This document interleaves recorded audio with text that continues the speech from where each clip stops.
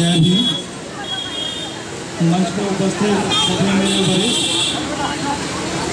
बहुत बहुत लोगों ने जो मेरे पीछे बताए हैं सारे बहुत लोगों ने बहुत सारी बातें बताई हैं। और दो तीन बातें हैं जो मैं आपसे शेयर करना चाहता हूँ।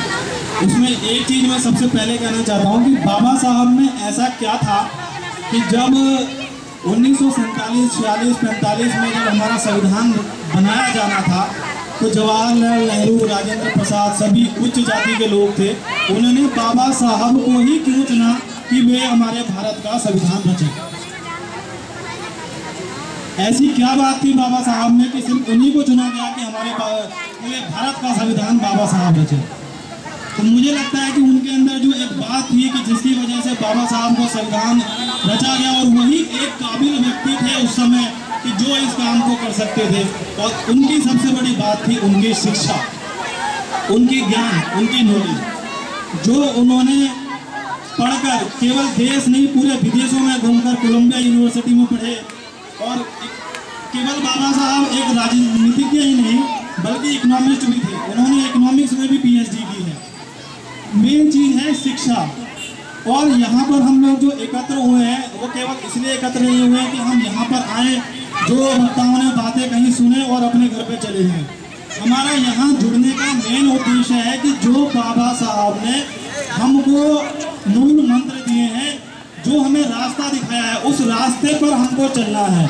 अगर हम उस रास्ते पर नहीं चले तो जितनी भी मेहनत आज ये सब लोग कर रहे हैं, वो सारी मेहनत बेकार है, किसी काम की नहीं रहेगी तो सबसे ज़रूरी यह है कि हमें जो बाबा साहब ने रास्ता दिखाया है, हमें उन रास्तों पर चलना है।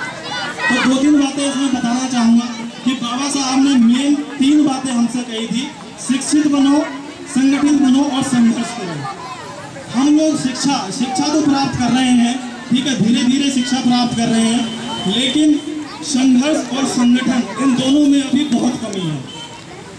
शिक्षित हो जाते हैं। शिक्षित होने के बाद मैंने देखा है कि जो लोग मैंने देखा कि अगर कोई पढ़ लिख गया पढ़ने लिखने के बाद वो अपने समाज से अपना नाता ही काट लेता है। अगर कोई समाज का आदमी उसके पास पहुँचता भी है तो कोशिश करता है कि उससे ना मिले, कहीं मेरे पास किसी काम को लेकर ना आया हो। तो सबसे ज़रूरी बात यही है कि अगर हमें इन बाबा साहब की बदौलत अगर शिक्षित बने हैं और इस काबिल बने हैं कि हम कहीं ऊँची पोस्ट पर बैठे हैं तो हमारा सबसे बड़ा जो उद्देश्य है, अगर हम इनका ऋण उतार सकते हैं तो वो सिर्फ़ इसी तरह उतार सकते हैं कि अगर आज मैं यहाँ खड़ा हूँ तो मैं कोशिश करूँ कि मैं अपने भाई मेरे साथ नीचे बैठे हैं, उनको भी अपने साथ लेकर चलूँ ताकि कल वो यहाँ पे पहुँचे।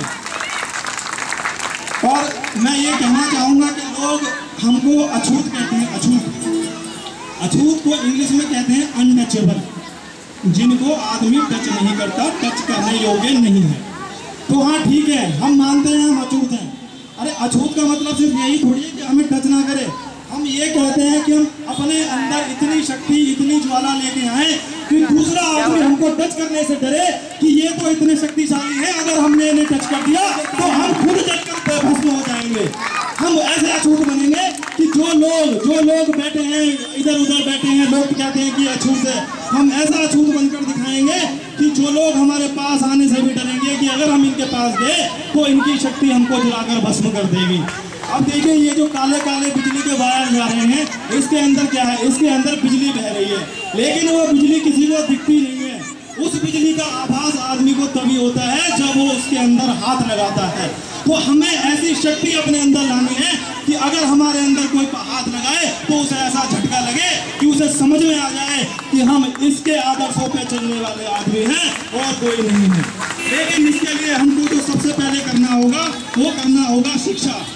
हमें अपने बच्चों को शिक्षा देनी होगी और शिक्षा बहुत अच्छी हमें अपने बच्चों को देनी होगी और शिक्षा के साथ हमें उन्हें संस्कार भी देने होंगे। कि बेटा जब तू कल अधिकारी बन जाएगा तो जो तेरे छोटे भाई नीचे रह जाए तो उनको कभी भूलियो मत। उनको भी तुझे अपने साथ लेकर चलना है। क्योंकि जो लोग यहाँ बैठे हैं तो उन्हीं की बदौलत आज वहाँ जग गया है, जहाँ तू आज बैठा है। और एक बात मैं ये भी कहना चाहूँगा कि लोग कहते हैं कि यार हमारे पास तो अभाव था। मेरे साथ तो ये समस्या थी, इसलिए मैं पढ़ नहीं पाया। या कोई कहता है कि मैं अपने बच्चे को पढ़ा नहीं पाया, मेरे साथ ये समस्या थी। अरे मैं कहता हूँ, जिस समय बाबा साहब पढ़े, उससे ज़्यादा समस्या तो आज किसी के पास भी नहीं होगी। अगर वो एक आदमी इतने सारे करोड़ों लोगों का उद्धार कर सकता है, अकेला पढ़ सकता है स्कॉलरशिप पे पढ़ सकता है, बाहर इस लाइट में पढ़ सकता है, रात को बैठ के, उसको तो स्कूल में जाने का भी मौका नहीं दिया। लेकिन डॉक्टर भीमराव अंबेडकर ने तो हमें इस काबिल बना दिया। कि हम स्कूल के अंदर बराबर बैठ के पढ़ सकते हैं। अगर हम फिर भी ना पढ़े तो हम कहते हैं कि हम इस आदमी का कर्ज कभी नहीं चुका पाएँगे। मेरा सबसे अनुरोध है, माताओं, बहनों, कि अपने बच्चों को ज़रूर पढ़ाएँ और बच्चों को शिक्षित करने में सबसे बड़ा जो योगदान है, वो उसकी माँ का होता है। क्योंकि माँ से ही उसको बेसिक रूट की शिक्षा मिलती है। माँ ही उसको अच्छा सिखाती है, माँ ही उसको सारी चीज़ें सिखाती हैं।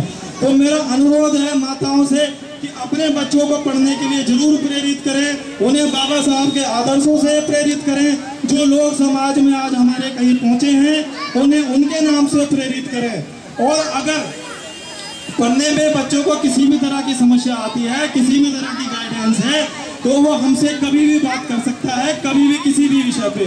जितनी हमें जानकारी है, हम हर तरह से उसकी मदद करेंगे। लेकिन बस कोई ये ना कहे कि हमें किसी इस चीज़ का पता नहीं था।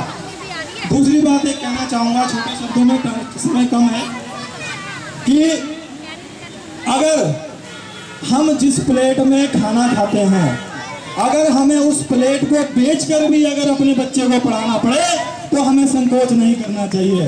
रोटी दोबारा आ जाएगी लेकिन बच्चे का बीता हुआ समय दोबारा नहीं आएगा।